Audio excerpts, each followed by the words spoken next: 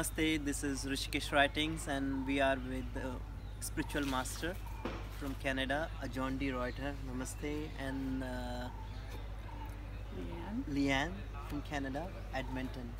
Namaste, welcome both of you in Rishikesh. Thank you. So John, how's um this journey start in life? You come into the spirituality and share this uh, gift which you got from the divine.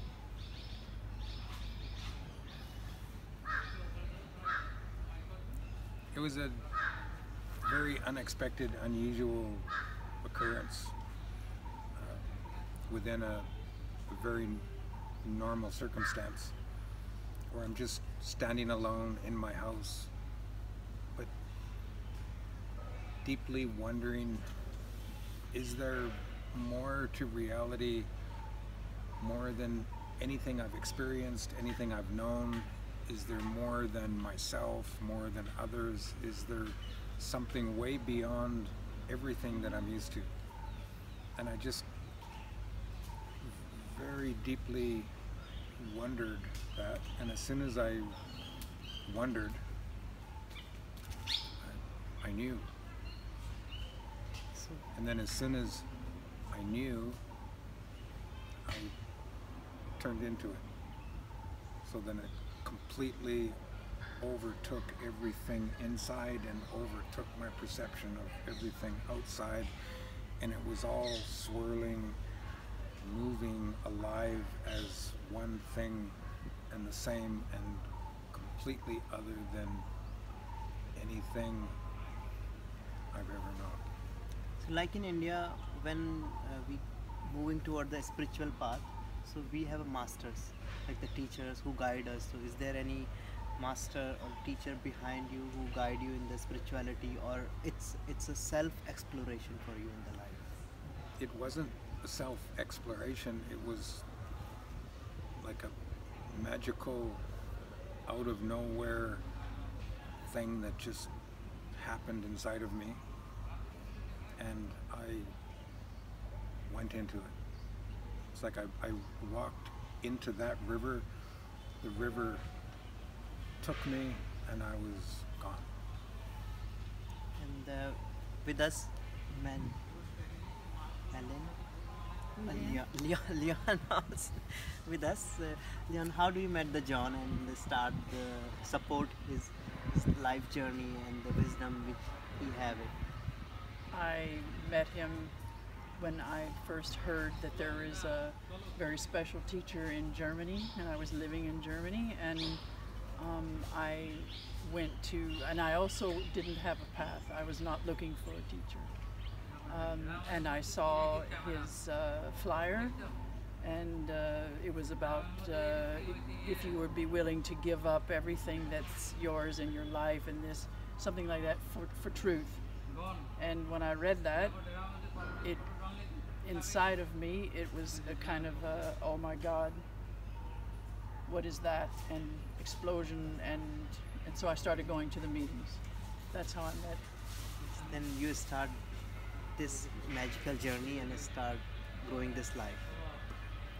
Um, John, in India, we uh, when we talk about self, so we says uh, we are we are not a body, we are a soul. In the West, so first they talk about the self like mind. So how do you correlated this both both theory in East and West?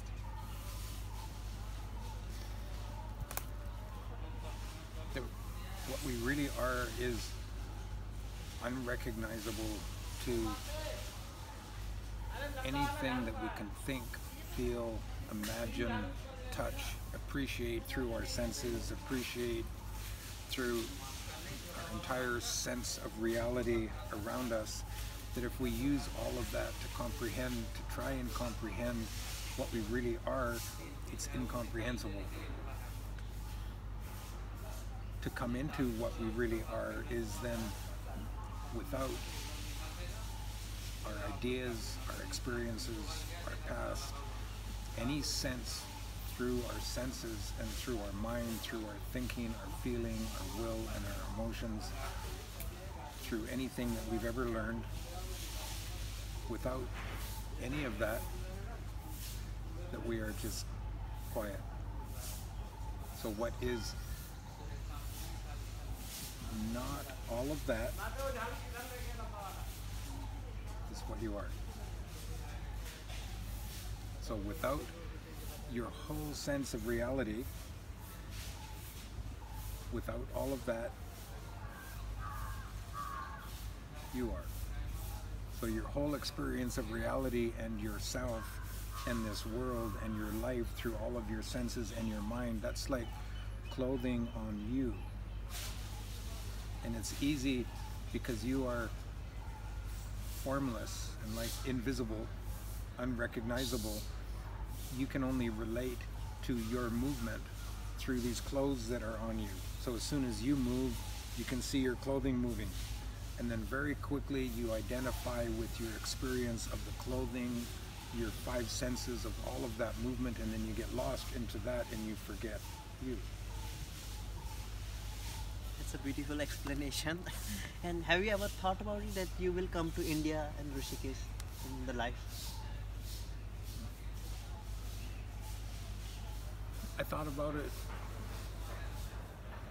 when people started to invite me to come to India.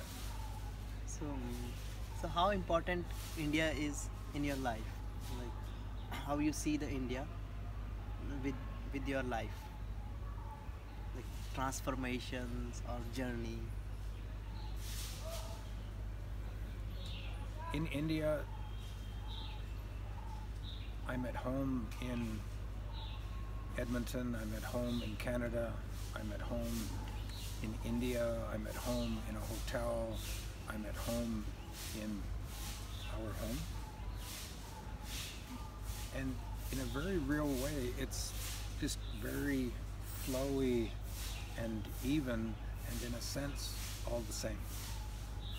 It just there are different characteristics to the experience of that in India than in Canada. And I really enjoy the difference of those characteristics. So what are those differences uh, you you would like to would you like to share? The, what are the differences you found in Canada and India? Canada is sort of sweetly more organized, cleaner. Okay. India is excitingly disorganized, messier, and getting into the mess and the color, the vibrancy of India mm-hmm. is uh,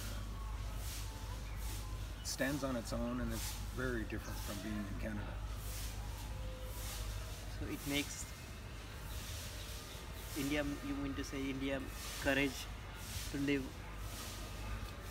a more beautiful life, like explore, help explore. It, India, in its characteristics, invites a different kind of movement as soon as you're in it than in than being in Canada. Both are very invitational, but the invitations are very different. But we've talked about the people because they're not they're not spoiled. They're not spoiled. There's still lots of innocence and and sweetness and open-heartedness that uh, it's very very nice to. Res- it's a wonderful response to to what he is. And what you both think about the Rishikesh? Rishikesh is sort of excitingly, strangely put together. There's hills everywhere, and all the houses just are built all over the hill, all over the place. The roads are not making any sense, which gives it a very magical appeal. So if we talk about the best memories of last year or this year, this year is it's, it's still running, but the best memories of Rishikesh in your journey. You would like to appreciate, or you you can uh, would like to thank for that that journey. The smile that I see in the Indians, in you. the, the, the, the smile has, your smile has, and delightful, refreshing kind of innocence. It's like a, a sprinkly happiness that just comes out. It doesn't have the level of performance that smiles can tend to be more so in the West. Uh, yeah, we The find smiles we here I find the reason here in India every time. So smile. so without even without any purpose, we smile to everybody else. Like when we are walking on the street and uh, even in the somebody home and friend circle, we just we we don't have to find a reason. We just say, okay, let's bump it to the place and have a smile and uh, fun together. Hey, are you part Indian? And uh, how about your li- uh, the childhood journey? We would like to hear about your how how was you and uh, like this journey start? like childhood, how, how was what kind of uh, child you are? Like it's uh, indigo or uh, like more mm, friendly?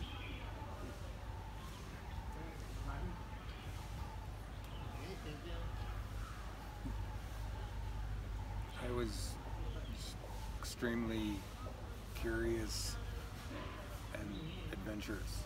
Independent. So you find always adventure in your life.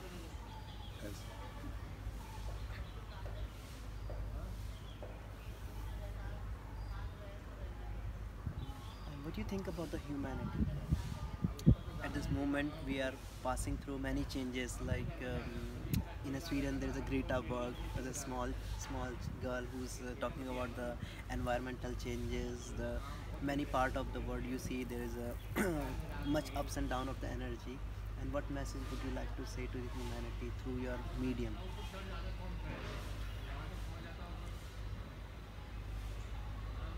that what matters the most in the midst of changing this changing world and difficult circumstances is to return to the heart and stay in the heart. how they will return to the heart. Uh, is there any way, a road, path, or by we will go by car, or we will go by thoughts? How, how, how the people can go inside the heart? in a very simple way to relate as dearness. When someone is very dear to you, then you're relating to that person through your heart. So as soon as you realize that, no one has to be dear to you for you to be that movement inside, that dearness. And then you are that dearness toward every toward anyone. you are that dearness in circumstances.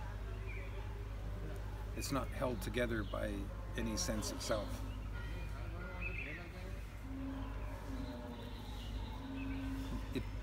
First is without purpose. First, it is just full of nurture. And that nurture starts to realize purpose in this life.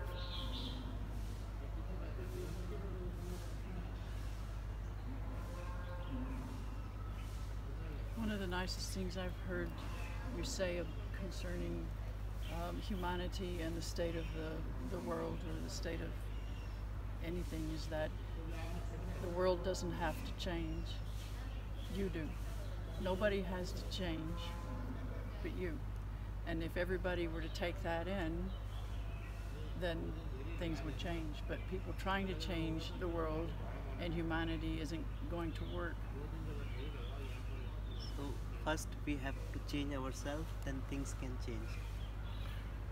First, you return through dearness, the sense and the, the quality and the depth of dearness. Through that, you return to your heart and you live being gentled and quieted in your heart, regardless of who you're with and what circumstance you're in.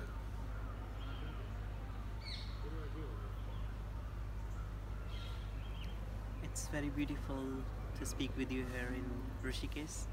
It's a land of the Mother Ganga, which uh, a blessings for the India, even for the world. thank you for being with us.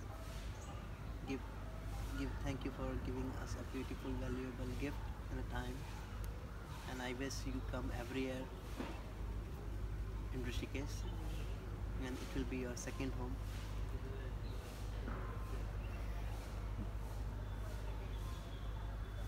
See you again. The Rishikesh will be your second home.